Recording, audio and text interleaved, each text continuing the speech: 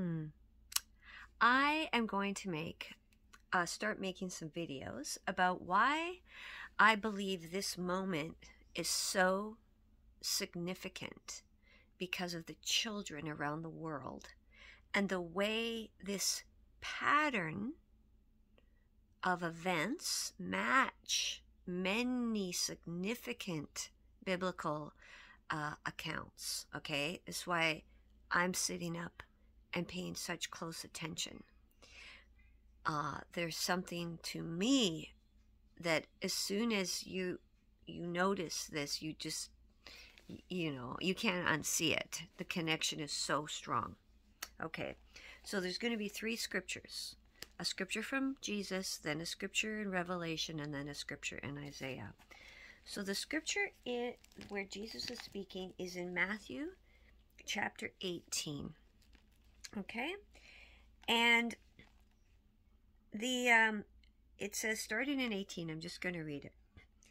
At the time the disciples came to Jesus and said, Who then is greatest in the kingdom of heaven? And he called a child to himself and set him before them and said, Truly, I say to you, unless you are converted and become like children, you will not enter the kingdom of heaven. Whoever then humbles himself as this child, he is the greatest in the kingdom of heaven. And whoever receives such child in my name receives me. But whoever causes one of these little ones, okay, who believe in me to stumble, it would be better for him to have a heavy millstone hung around his neck and to be drowned in the depth of the sea. Now remember, the Bible says of Jesus, carefully concealed in him is all the treasures of wisdom and knowledge. Now, why is this statement of Christ so significant? Well, Revelation chapter 18 speaks about the great millstone. Okay?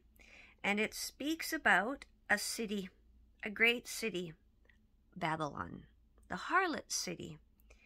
And it speaks about, it says, God has pronounced judgment for you against her. Let's read this. Verse 21. Then a strong angel took up a stone like a great millstone and threw it into the sea, saying, So will Babylon, the great city, be thrown down with violence and will not be found any longer. Wow. And what was the pronouncement that Jesus said would happen if the children were to be stumbled? Hmm. And what brings Babylon down? Like being thrown in the sea with a great millstone around the neck. Such a profound indicator for recognizing where are we in the cyclical, repeating historical pattern timeline that synchronizes with the pronouncements of God, the creator of all that is. Let's look at Isaiah now, which is a prophecy of this beautiful time. Isaiah chapter 11. Now, verse 6 is what I want to focus on. It says, read the whole thing, significant, but it says, And the wolf will dwell with the lamb, the leopard will lie down with the young goat, the calf and the young lion and the fatling together, and a little boy will lead them. Hmm, I wonder where the children might lead us. Oh, perhaps, as Jesus said, into the kingdom, into the kingdom of God itself. Okay? It is such an obvious spiritual clue, is why I wonder is why we haven't noticed it with more clarity. Okay? Because what's also extremely important is when Jesus mentioned this about the children, the men were asking about how great they would be. So here we have the ego, okay? And uh, this is something I really want to uh, bring to our attention because slowly with time I've begun to notice this more.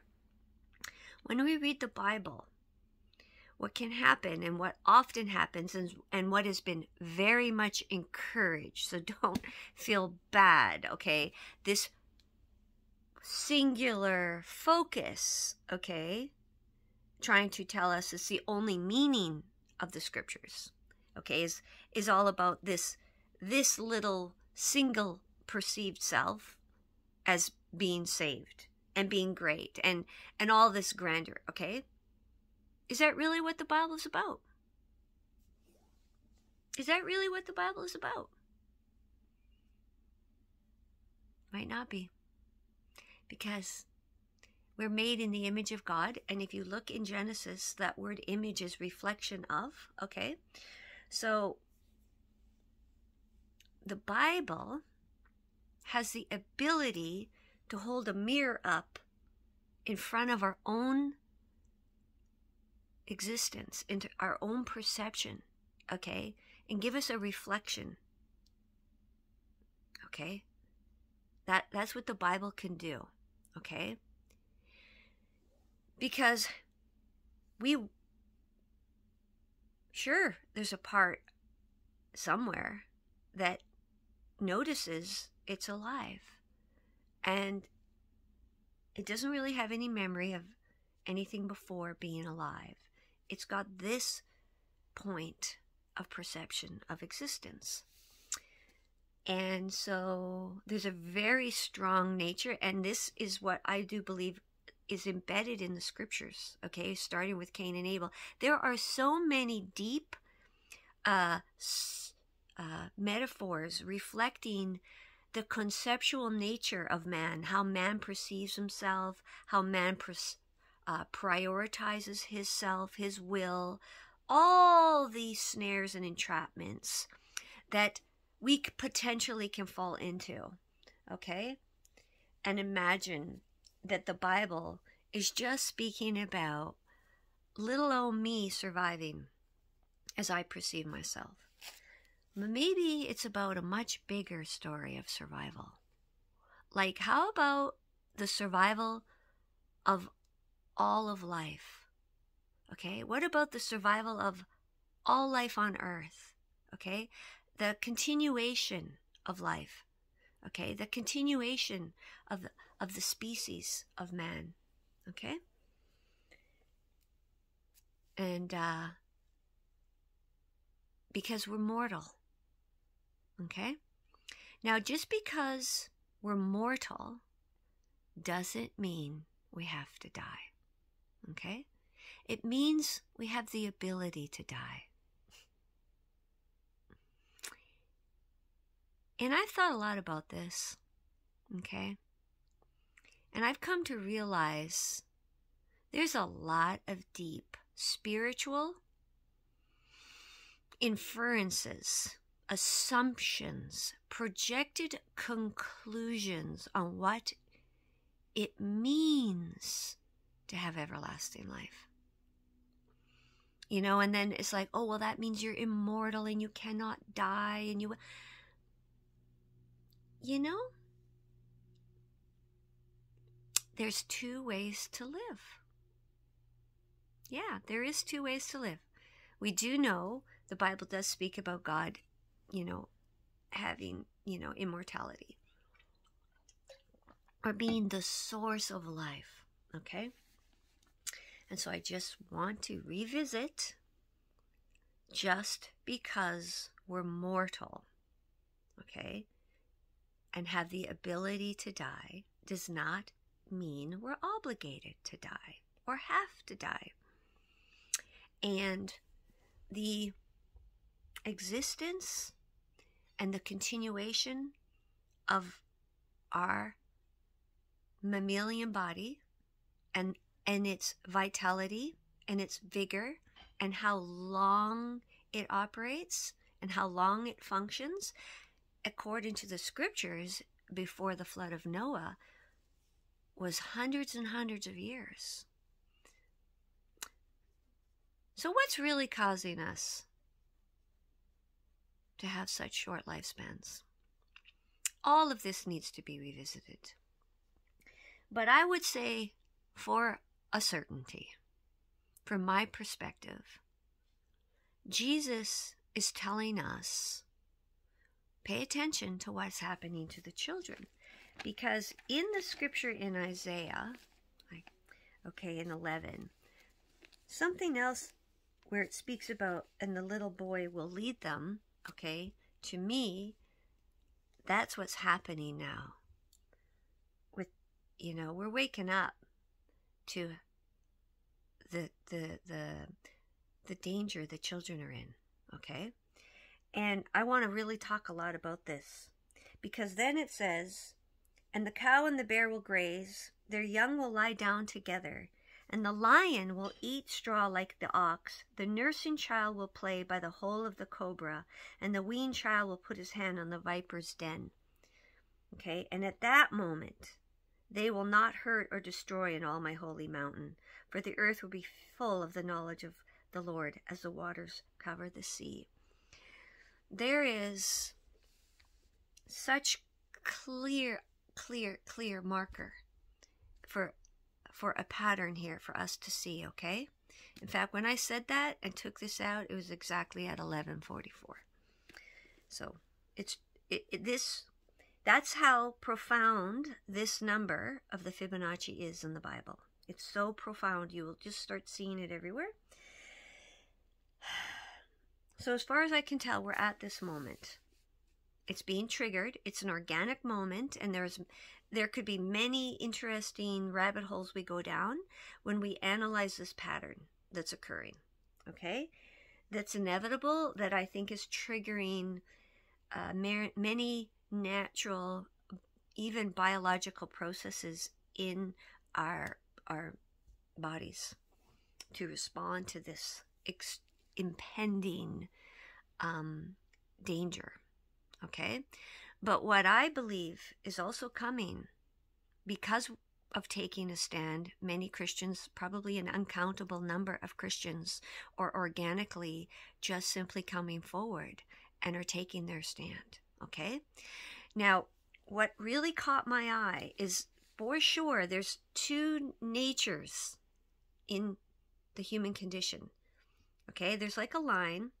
And some of us, it's easier for us to fall into selfishness and the spirit of Cain, which is that aggressive component that is more connected to the instinctual survival, you know, response of fear and all that. Okay, that is our legacy as a developing uh, mammal on this planet. We have history, okay?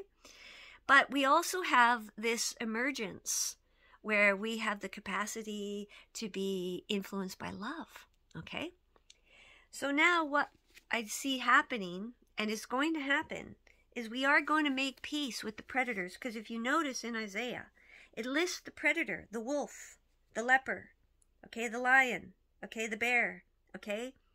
It's it's and those coincide with Revelation and the animals of Daniel. The predatorial uh, nature of the system that keeps emerging and dominating and causing this implosion, causing collapse, because we're not following the only wisdom that's proven to sustain us, okay, and carry us forward, okay? But the fact that it talks about their young lying down together, okay? You see, we don't know how someone's going to choose to be. And because free will is part of the gift from God, we do need to create a society that nurtures to the optimal state of being. What is the true potential expression of us? When our children are born into beautiful protective love, cared for, fed, nurtured, everything to the, you know, like not baby, not pampered, not like spoiled, like they say, sp- silver spoon in your mouth. No, I mean learn how to live and be connected and to be real and to be spiritual. What will the earth look like when our societies have that as the foundation of every decision going forward? That is the only path, as far as I can see. It, the Bible is telling us there is literally only one solution. And this attack on the children is the millstone that Babylon the Great has tied around her own neck. It's every single person who is defaulting to a stance of fear, shrinking back into the shadows to conceal their lower nature that is influencing them right now.